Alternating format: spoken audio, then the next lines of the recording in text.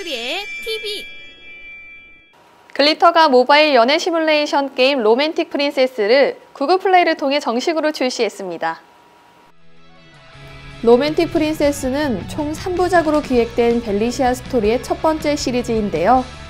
평범한 한국의 여고생이었던 주인공이 어느 날 자신이 유럽 왕정 국가 벨리시아 왕실의 마지막 적통 혈육이라는 사실을 알게 되어 신분을 숨기고 벨리시아에 돌아오면서 펼쳐지는 이야기를 그리고 있습니다. 또한 이야기를 따라가는 전통적인 연애 시뮬레이션 게임의 형태에 아바타를 구입하고 친구와 교류하는 소셜 기능도 더해졌으며 각종 미니게임을 통해 주인공의 능력치를 높여 게임의 진행을 도울 수 있게 구성되었습니다. 어, 로맨틱 프린세스는 전문 시나리오 작가분들이 참여하셔서 탄탄하고 흥미진진한 스토리를 바탕으로 유저의 선택에 따라 주인공의 운명이 바뀌는 multi ending 시스템을 갖춘 연애 시뮬레이션 게임입니다. 뿐만 아니라 게임의 목소리 연기에는 성우계에서 높은 인기를 구가하고 있는 장민혁, 유승곤, 박성태, 최승훈 성우 등이 참가했으며 오프닝 주제곡을 최승훈 성우가 직접 불러 게임의 분위기에 맞는 달콤하고 매력적인 voice를 들려주고 있고요.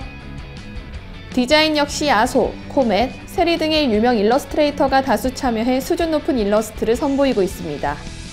특히 로맨틱 프린세스는 유저의 선택에 따라 주인공의 운명이 바뀌는 multi ending 시스템을 갖춘 연애 시뮬레이션을 표방하고 있는데요. 초기 공략 가능한 3명의 남성 캐릭터를 모두 공략할 경우 hidden 캐릭터가 등장하며 이후 극의 흐름과 유저의 공략 성향에 따라 꾸준히 신규 캐릭터를 추가해 나갈 예정이라고 하네요.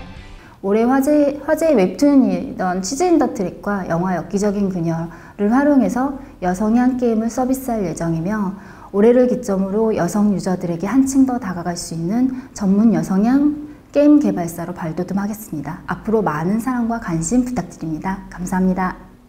모바일로 만나는 달콤한 연애 로맨틱 프린세스의 보다 자세한 정보는 공식 카페를 통해 확인하시기 바랍니다. 헝그리의 TV